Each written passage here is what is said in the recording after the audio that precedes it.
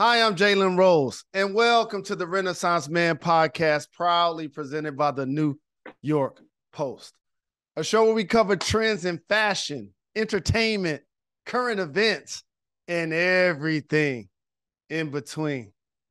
This week's episode is like a good old fashioned barbecue in the 313 because my next guest is family. You may know her because she's a journalist for The Atlantic, worked at ESPN. She's a host. She's one of the most respected voices in sports and entertainment. She's also the host of the very popular Spotify exclusive podcast, Jemele Hill is Unbothered.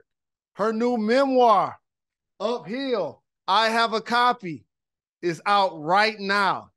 And in it, she talks about her career, her life growing up in Detroit, and breaking her family cycles of intergenerational trauma. It is my honor to welcome the talented Jemele Hill to the show. what up, though?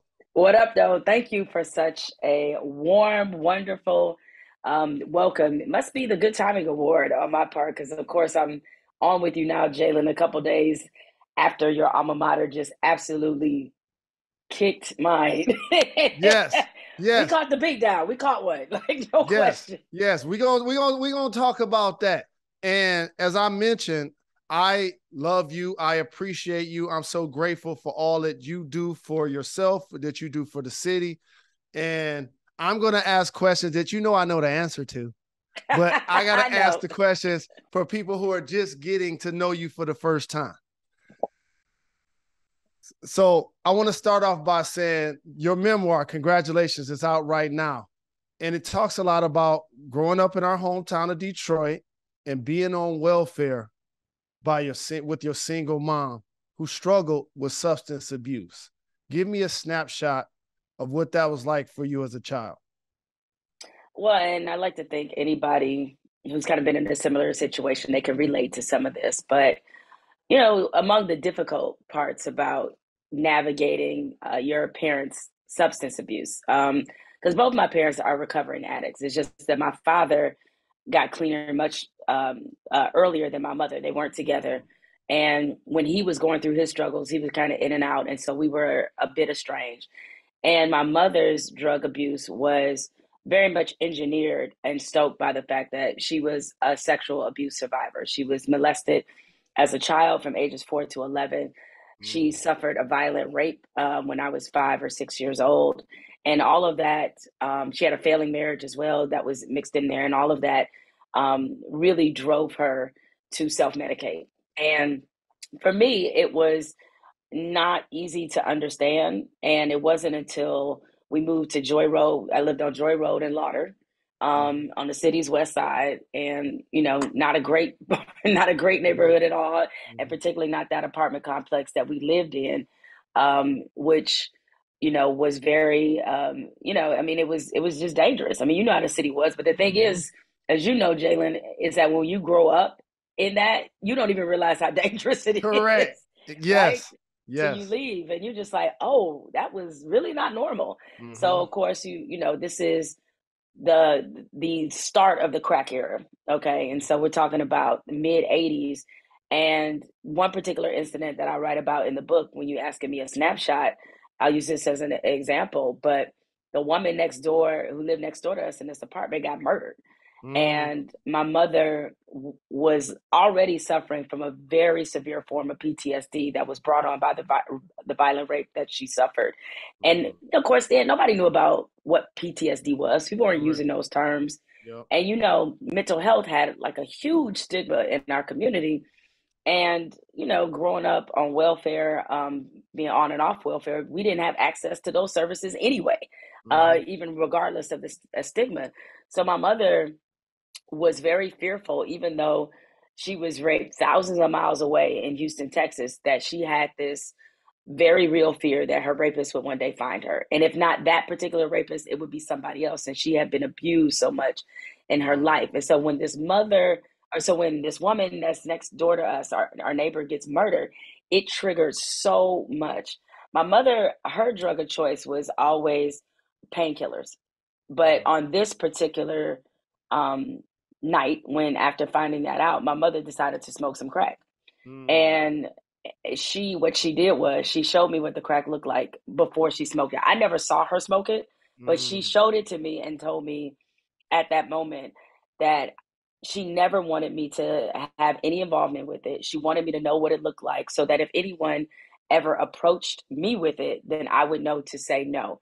Now, I know that might sound like a very bizarre and also counterproductive argument, but it obviously is staying in my mind. I was never tempted to do anything mm-hmm. um, that serious, but she was one of those parents, and maybe this is generational and, and real old school that definitely had the mentality of do as I say, not as I do. Not as I do. Mm-hmm. Yeah, and so um, you know, when you see somebody going through that trauma, the night terrors my mother would have, and other things, or just me in general not knowing what mood she was going to be in, not knowing what I was going to come home to, sometimes from school or when she would pick me up from practice when I was playing softball or something else.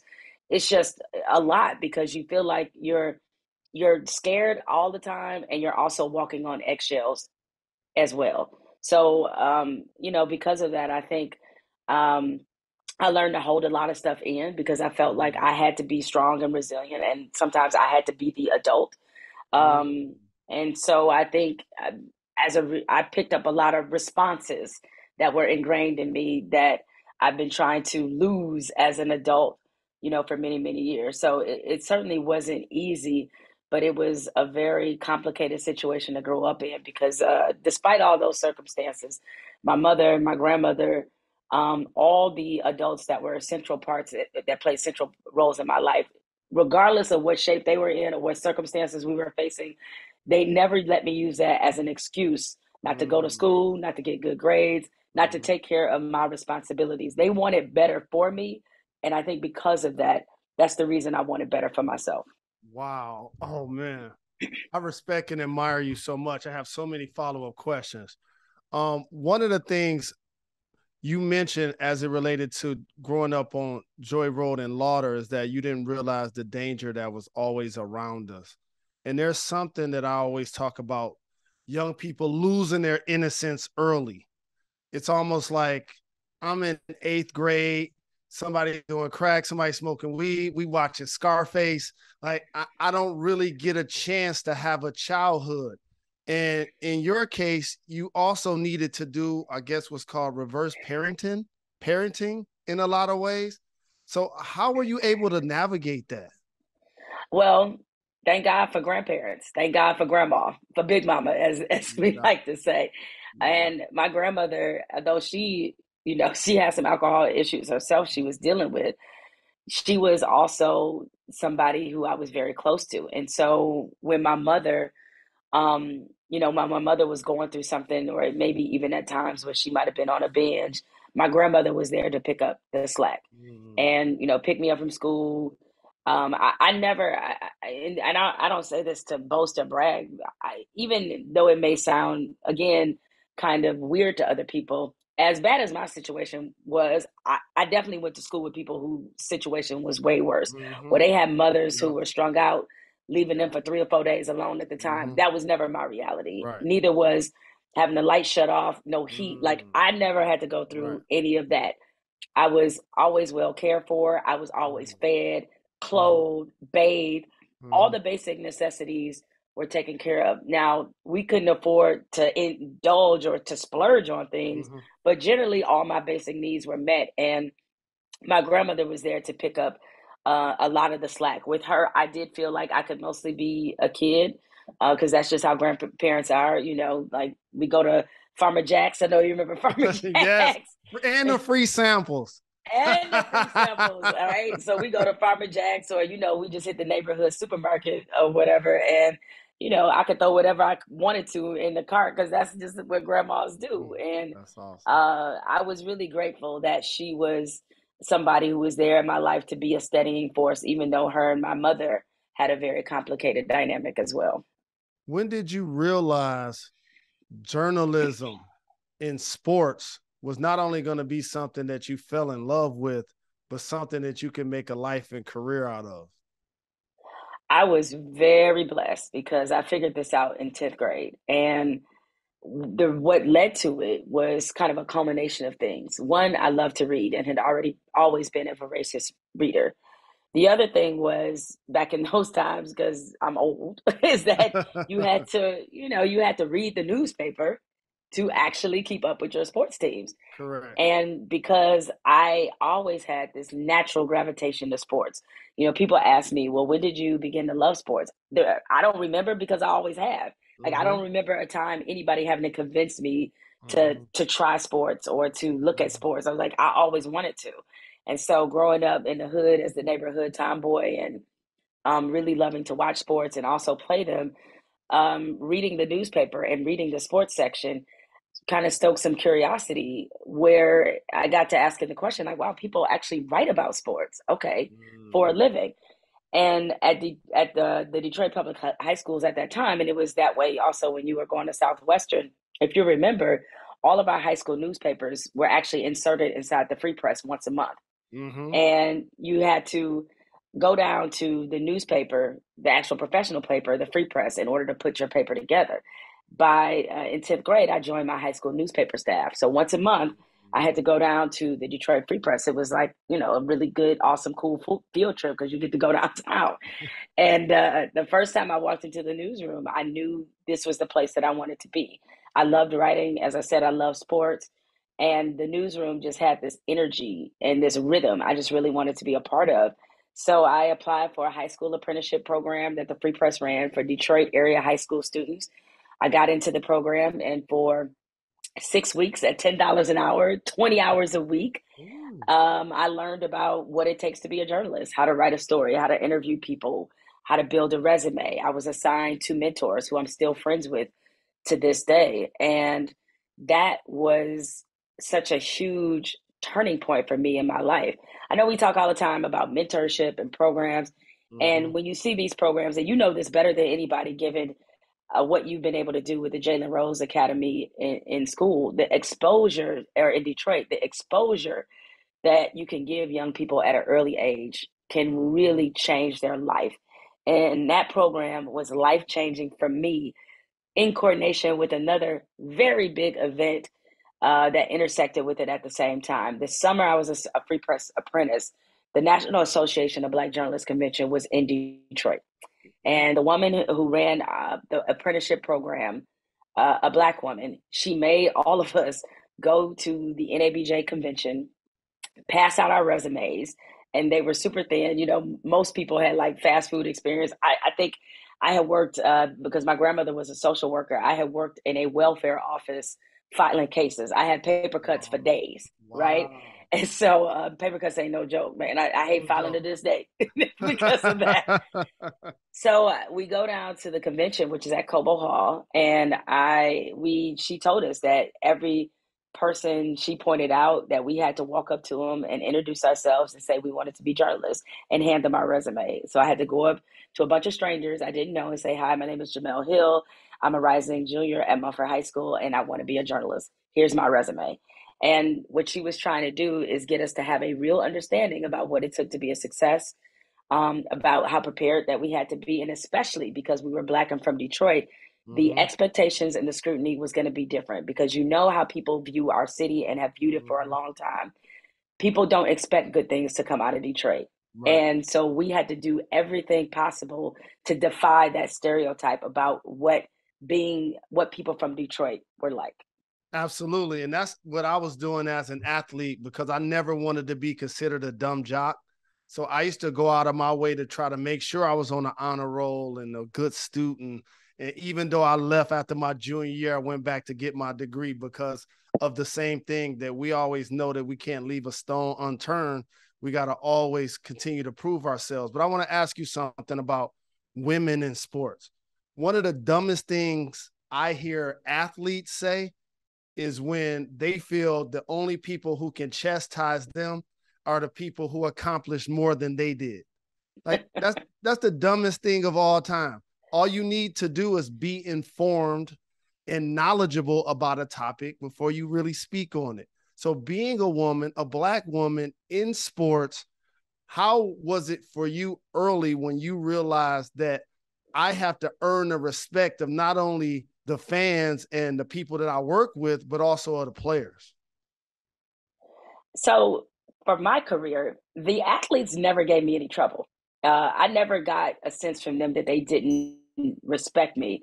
They may not have been always totally accustomed to having a black woman cover them, but they never really gave me any of that energy of you don't belong. Now, ESPN's a little different vehicle because it's such a massive platform and anytime you criticize an athlete in that realm, it's going to hit like a a, mm-hmm. a, a, thunderous boom, you know, right? And so I've certainly seen this happen to a lot of my, you know, colleagues and friends, like Cari Champion. I, I mm-hmm. remember Durant came after her because of something she said about him. Um, and uh, so did Damian Lillard responding to her criticism. So certainly we see numerous examples of when women say something or we exhibit the same uh, confident opinion that men do, then we're told to go back to the kitchen, or in my case, as I used to be told, not necessarily from athletes, but from fans and viewers and readers, which would be either to go back to the kitchen, go right for Cosmo, or go back to Africa. Mm. One of those three, or if not, a combination. And I think what it is, is that, you know, as obviously being in a male dominated sport or a male dominated profession, it's it's different because most women are kind of in male dominated professions, but sports is like a male male dominated literally, profession. Yeah, literally. It's like very you know and so I, I think what i i never wanted an athlete or a coach to say that about me that i wasn't prepared that i didn't know what i was talking about and i think the way i kind of broke that down is that i never approached them like i knew more than them. And you know this jalen as an mm-hmm. athlete a lot of reporters do that. Correct. And i don't care if you talking to somebody who averaged two points a game and that's it or if you're talking to somebody who riding the oak and especially if they're a professional, honestly, I really, even if they're in college, that person knows more than you about the game because they've been playing it. That does not mean that you don't see very obvious things that are wrong with either how they're playing or wrong with the scheme being built around them that you don't recognize these things.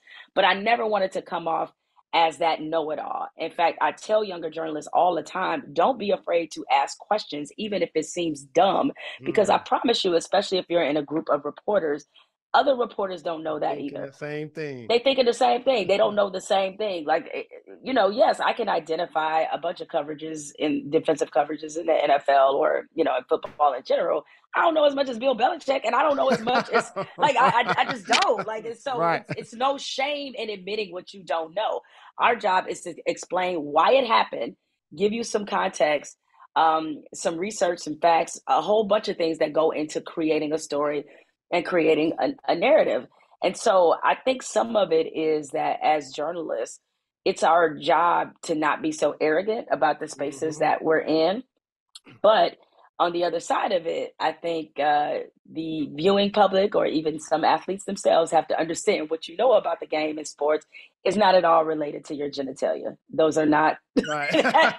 I mean, as you know, the majority of, of sports writers do not know, have not played and there are even some coaches that haven't played before mm-hmm. either, right? Or haven't played at a high level. Yep. You know, I mean, Bill Belichick never, I don't, I'm pretty sure Bill mm-hmm. Belichick never played in the NFL. Mm-hmm. And he's probably the greatest coach in mm-hmm. modern NFL history. You know, Jeff Van Gundy, who we listen to on a regular basis, uh, I mean, he never played in the NBA and he's a great coach. So those things are, are, are not relatable. But yes, as a woman, you know you're going to be scrutinized more you know that if you make a even an innocent mistake you know there were times when i was doing SportsCenter or doing his and hers with mike and if i flubbed a mm-hmm. name it was that's why women don't belong if mike right. does it it's just like oh he's just he just made a mistake so there right. you know that there are different standards and they're not fair and the best thing you can do is to be as prepared as possible so that you don't give people the room to say that about you shout mike shout cari and here's the thing i want to make sure i stress it, hearing you say that reminds me of the times when athletes that played a sport, the public only expected them to talk about that sport. Yes, you have so gone through that me, big time. yes, so I could be on with Greeny and he could talk about basketball, football, whatever. But then when I want to talk about baseball, it's like, oh, what, what is he doing talking about something? He didn't play baseball. and, and, and that goes towards exactly what you're saying about you know earning our keep and taking our respect. But I, I want to ask you something that I don't get a chance to hear you speak enough about. Some of the things you did for fun growing up in Detroit. Oh man, you personally did for fun. You know, Jalen, we had that good, that good, wholesome, clean fun. Uh, yeah. well, not always though, because I do. You know, I ain't gonna lie. I done played hide and go get it before. I'm not gonna lie. I go seek, I go get them. 7-Eleven. all of that. I, I, have survived the giant slide. It wasn't giving people concussions when we was on it. Exactly. I was like, I survived that just fine.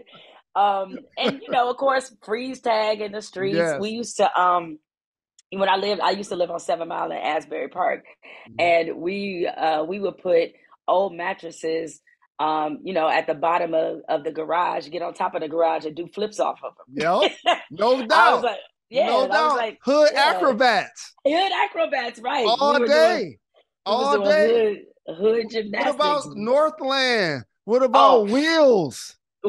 Northland wheels, going to actual Northland Mall you know, mm-hmm. walk around there for yes. hours. Um, I don't know if it was this way for you, but uh, growing up, like we um, we boycotted Fairlane Mall. We did not. I did not. I remember that actually. That yeah. was that that was after the years I was going there. It's funny, yeah. and, and, and you were always somebody that was conscious of doing what you could to help things better in your community. So, a young Jemele, how do you get a group of people that you're with to ban going to Fairlane at the time? So one, I didn't want to cross my grandmother. That's number one. okay. So not only, you know, I guess to give people a little backstory, but there was a lot of racially like racial profile incidents that happened at, at, at Fairlane that in were Dearborn, very public yep. in Dearborn. And uh, because of that, a lot of black people didn't feel welcome there, didn't feel comfortable. So we said, screw it, we're not spending our money there. My grandmother um, also had an incident at, at Fairlane where they wouldn't accept a check, check of hers. Now, this is an older black woman. She got the ID, she got everything they said she needed, and they still wouldn't take the check. And she felt like she was being racially profiled. So we didn't go back. I didn't go back to Fairlane for years, wow. you know, because of that. It wasn't until yeah. maybe I was an adult and they had mm-hmm. addressed some of the issues and just it changed. And so a lot of times, as you know, Jalen, the consciousness starts in your own family. You know, mm-hmm. my mother she grew up in, in Detroit in, in the 50s and, and 60s, and she ate at the Black Panthers free breakfast program. Mm. My grandmother was always very outspoken. She, my mother was always very outspoken.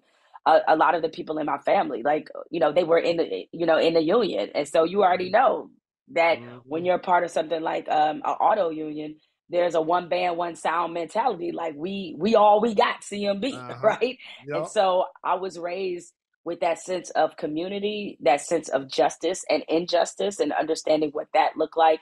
And I think growing up in Detroit and seeing how we were just portrayed so negatively all mm-hmm. the time, Literally. it just made me that much more vigilant about telling the full story about our city. Yes, we have had urban blight. Sure, when I was growing up there, and I think it was the same for you, Detroit had over a million people, and we see what the mm-hmm. population is like now. Um, we understand what the drug trade and the crack epidemic did to our city, much like it did a lot of cities. Mm-hmm. But the way that we love our city, like don't nobody put on for Detroit like we put on for Detroit. Nobody. Correct. Correct. And there's a sense of community and toughness and shared toughness in that that I just wouldn't want to have been from any other place. You because like you see somebody with a Detroit hat, it's different than a Yankee cap or a Dodgers cap. They really from there or know somebody from there if oh, they're correct. wearing that cap. Yeah, I mean that's what I love about it. Um, it, one of the rare instances where this wasn't the case was recently. It was uh, I was when me and my husband, mm-hmm. um, your fellow Southwestern South Southwest. what up, though, Ian? yeah, a fellow uh, Southwestern uh, schoolmate. Um, mm-hmm. he, we were on the Tamron Hall show, and it was one of the uh, production um, folks had on a, a, a English D. And we both saw. We like, you from the D? Mm-hmm. Like what? And of course, you know, we admitted like, what's that? Right, you, you must be from the D. Yes, because who else does that? It turned out He was not. His first name started with the D, and he liked the Gosh. look of the old English D. And I was like, I tell you, that's the first time that has ever happened yep. to me. Yeah, that Anybody never with happened. that English D, not named Ice Cube, are usually from Detroit. exactly. And you know what? So Sunday, Jemele, I was at a football game rocking my Beverly Hills Cop, Jerry Bruckheimer produced Detroit Lions classic vintage jacket. And I thought about this interview I was about to do with you, and it reminded me of something. How did you avoid being in an abusive relationship with the Lions? How did you avoid you know, this? You know, uh, just seeing what you go through, seeing what my husband goes through, you know, seeing members of my family, I, I pray for y'all. I'm like, Lord, deliver them. Can they, I mean, please do, because they don't deserve this awful football for generations. Y'all have put a generational fan curse.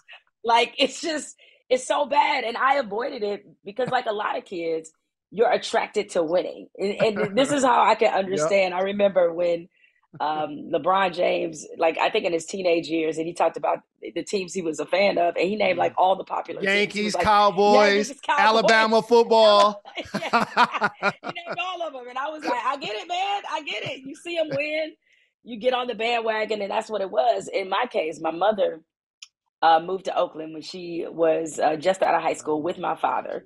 And she really liked the 49ers. She loved Joe Montana. She thought he was, as she used to put it, the coolest white boy on earth.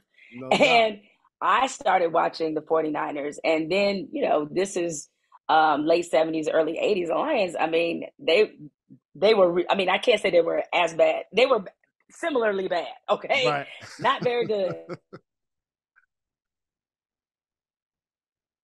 and I'm like, why would I watch this team of the 80s? And you know, she she's still with root for the Lions. I didn't even bother. I picked up every Detroit team, and I was lucky because the Tigers won when I was nine. Yep, the big, the bad boys and the Pist 84, the Pistons, yep. they started their trajectory. I remember when they mm-hmm. drafted Isaiah, yep. they started their trajectory in the late 80s. The Wings got a star named Steve mm. Yzerman. Yes, you know, indeed. all of this happened at once. So I had plenty of reasons to root for the other Detroit teams. Right. I just did not have a compelling one to root for the Lions. I do not root against them because, again, for the mental well being of my husband, of you, I Thank want this you. team to do well. But Thank man, I don't know how y'all do it. I really don't. I don't that, know how y'all do That's it. why I said it's an abusive relationship. So I have to, again, congratulate you for your new memoir, Uphill is out right now. And it prompts me to ask you this question Your five favorite books? That is such a great question, Jalen. I appreciate that. Okay. So, my favorite book of all time is Their Eyes Were Watching God by Zora Neale Hurston. Uh, I'm going to also put Invisible Man in there by uh, Ralph Ellison, a, fan, a phenomenal book.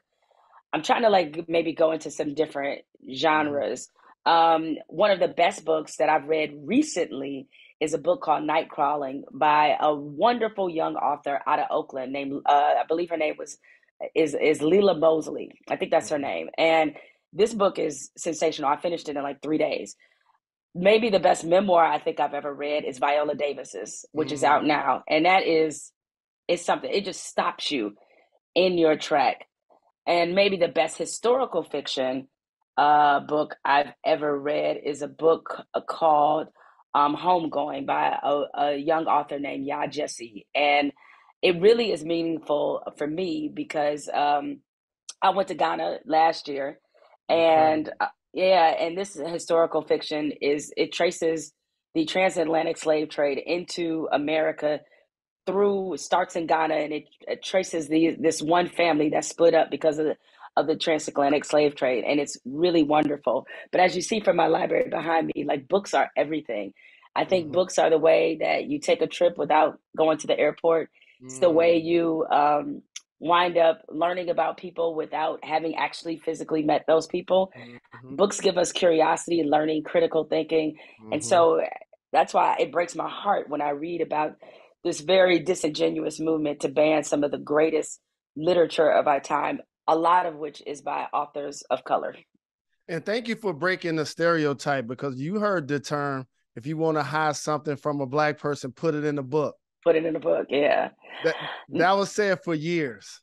Yeah, I mean, and it's um and honestly the the worst part about that being repeated over and over again is that pretty soon people start to believe it as in the people they're talking about start mm-hmm. to believe it um, and the book publishing industry believes it mm-hmm. and uh, mm. one thing that has been a real education uh, as i've gone through this process of writing my own memoir is that you know not necessarily with my own book publishing company but the difficult terrain that it is for black authors and the difficult terrain for black owned bookstores. So mm-hmm. I've encouraged everybody who, if you're interested in buying a copy of Uphill, which I hope you are, um, mm-hmm. yes, it's available at Amazon and wherever books are sold. But be intentional about ordering this book from a black bookstore. A lot of them were hit very hard in the pandemic.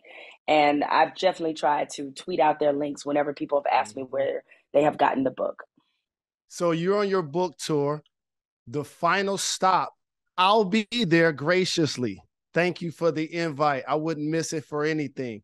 It's going to be at the Detroit Public Library. Why was it so important for you to have Detroit as the last stop and for you to do it there? It's my home and it has my heart and always will. My whole family is there. And important for me to get a native Detroiter like you because uh, you acted like you just gonna be sitting in the audience, and Jalen is moderating the conversation, right? He is he is going to be asking me all the questions about the book mm-hmm. and giving people a feel for some of the subjects that I tackle in it. But um, yeah, I mean, it could end no other place, you know, but but home. And I'm gonna be in Detroit a couple days. I have a couple book events. It's the Detroit uh, public library event, which is like sort of like the big, big one. And then I mm-hmm. have one that'll be a little bit smaller at Marygrove College, and that I'm doing in conjunction with my alma mater, um, um, Mumford High School. And so, you know, of course, this is our way of, of paying tribute to the city, giving back to the city. And um, yeah, I mean, just listen, they lucky if it was up to me, I'd be staying in Detroit like a five day tour. okay. No doubt. No doubt. But uh, unfortunately, I only have about two or three days because, of course, I'm hitting Michigan State while I'm there as well. Absolutely. And before I let you get out of here, and again, I'm so gracious that you took the time. I'm looking forward to hosting at the Detroit Public Library. Publicly, I feel like you and I have so many things in common. We went to rival schools, but we don't get a chance to publicly be vulnerable. And I've talked a lot about me- mental health on this show. And so I have to ask you, like, what are some of the tools and methods that you have found help you on your healing journey? And what advice do you have for someone who wants to begin breaking generational curses? Well, um, one way I think to break it, and I hope this is a takeaway people have after they read Uphill or even as they're reading Uphill, is I think it's important that we talk to our elders about their lives like really talk to them about it what their life was like before we came along as either their mm. child or grandchild nephew niece whatever mm-hmm. what was their lives like what were some of the disappointments the failures like really have open conversations about the times that they lived through you know one of the traumas we've experienced as black people in this country is that a lot of our elders have a hard time talking about what segregation was like for them what jim crow was like for them because those are very painful incidents but I think it helps to take the shame off these generational curses, which is a mm-hmm. key to me in breaking them. The other thing I would say also is obviously don't be afraid to seek therapy and talk openly about the fact that you're in therapy. But I had to, and still am learning, I had to teach myself or try to learn how to be vulnerable. You know, one of the amazing things I think about my marriage is that my husband is very good at expressing how he feels in the moment. Like he's very communicative and it really um, works for our relationship. It's something I'm getting better at, and a lot of times, sometimes I think what happens in relationships is the quality you want and you admire is the one you seek out in a mate, and it helps mm-hmm. you to build up maybe your area of weakness yeah. where you're weak. And that's not to say this will this necessarily doesn't have to come in romantic partnerships. I think even in friendships, friendships that be yeah, be able to have this these these open dialogues um, with your friends so that they're where they're strong at can strengthen you and where you're strong at you can strengthen them. And before I let you get out of here, and again, I appreciate you taking the time. There's a new memoir out right now, Uphill. Make sure you go cop this from Jemele Hill. I have a rapid fire segment called Gone in 60 Seconds. You ready to do this? Oof, I am, man. This is this is the pressure. To me, this is where the controversy always yes, happens. Because the first question is controversial. What is oh, your God. favorite restaurant in Detroit? You are so wrong for this. Okay. My favorite, I'm gonna say my favorite, my favorite hood spot in Detroit is Golden Bowl uh, mm-hmm. on uh, Six Mile. My, my favorite Chinese food spot. I have to go literally Real every time. Foo Young patties, baby, all day. I was uh, almond uh, boneless chicken. Like the way we do Chinese food in the D is just unlike anywhere else. So for me, it's Golden Bowl. I love that answer. That was my spot growing up right there on Puritan and Appoline. My spot. You have a YouTube show, and shout to your husband, Ian, fellow Detroit Southwestern prospector, called Conversations on Vacation. So I have to ask, what do you think is the best vacation spot to have a deep conversation? Ooh, because we've had a few. I, I think of all the places that we've gone, because you got to kind of sit still with it. I'm gonna say Fiji. Like we went to mm-hmm. Fiji, and that was a great place because we, you know, you're Fiji. Uh, you have the city part, and then you have the part where it's just like uh, it's made of over over 300 islands. So you're on an island. On the island is all you got, and it's just the resort you're on on, and that's it. And so um, that was one of the first vacations that we took as a couple, and we had a blast there. Incredible. And you're an inspiration to so many. But I have to ask you in media growing up, who was your inspiration? Uh, also an equally hard questions. These are not getting easier, by the way, Jalen. I just want, I just want you uh, to know that. Um, so I would probably say uh, for me, and I'm gonna I'm gonna keep it to the sports world because it's it's other mm-hmm. people who have been mentors who are yep. not in the sports world. But probably the sports writer whose career I most wanted to emulate was Michael Wilbon. Mm. I, I read him in college. He was a fantastic columnist for the Washington Post, and his way with language, the simplicity in which he could explain things, and he was such a intrepid reporter. Like I I could read him and even if I didn't know who wrote it, if he took his byline off, I still would know it was Michael Wilbon. Shout to Wilby, the Yoda. I get a chance to work with him on Countdown. He is that dude. And I ask you your favorite books earlier, but I have to also ask because we're going to make sure we talk about as many books as we can. What are you reading now, or what would you highly recommend besides your great memoir that's out right now? what would you tell somebody to go read besides this and why? Uh, well, currently, um, I'm actually weirdly enough during the, during the pandemic, I had actually never read an or I never listened to an audiobook. Mm-hmm. Um, but I wanted to try because I was, you know, we we were searching for ways to exercise because we went in the gym. So I would go on long walks uh, around the neighborhood, and so I really got into audiobooks. And the audiobook I'm listening to now is Will Smith's um, mm-hmm. audiobook, which is quite good. Um, you know, the uh because he he's an actor, so this is a cheat code. Now he doesn't have the best audiobook I ever listened to. That's Viola Davis, but he right in there because right. he incorporates music. You know, he's rapping in it, he's singing in it. Like it is such a dynamic sound experience. So I highly suggest to people that you listen to the audiobook of Will Smith, which of course is done by Will Smith. And last but certainly not least, and we're not here to promote any violence in any way, shape, or form, but I have to ask you this. What was your I wish a ninja would moment when Will Smith smacked Chris Rock? You know, did I have a, I wish, you know, I, I would say this in general. Like you said, we're not here to promote violence, but you have to draw you have to draw boundaries sometimes with people you know, mm-hmm. I, the one moment that I have been expecting to happen is when one of um, my political detractors try to mm-hmm. run up on me because that's gonna be a Jalen. I'm gonna need some bail money moment. You know what I'm saying? um, it has it has yet to happen, and you know you you know how a lot of people get real courageous mm-hmm. about that. But um, I've certainly had. I mean, probably the, the last time I came the closest to being in a fight was at LIV in Miami. all right. Me and my girls, it's Memorial Day weekend. All right. And I don't know if anybody has ever been to Memorial Day weekend in Miami. It's a new level. Like that is our that people is be there. We be there. there. We take the city over. We it's there. On 24 New hour era Freaknik. New era. it's 24 hour shenanigans all the time. And one of my girls, it's like four or five of us, and one of my girls had she had a hookup. We got a little, we got a table at LIV, which is not easy to do that weekend, but we got mm-hmm. it comped. You know, we got bottles. We like, we done really come up in here.